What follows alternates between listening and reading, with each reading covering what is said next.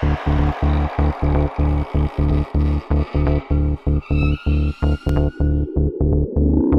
Gracias a Dios la pudimos, la pudimos meter de entrada, se dio rápido. Después, bueno, a partir de, ese gol consiguió un, jugamos más tranquilo, se crearon más espacio y bueno, después vino el segundo, el tercero y bueno, ya el primer tiempo 3 a 0, mucho mejor, gracias a Dios se nos dio bien el partido como, como estaba planeado.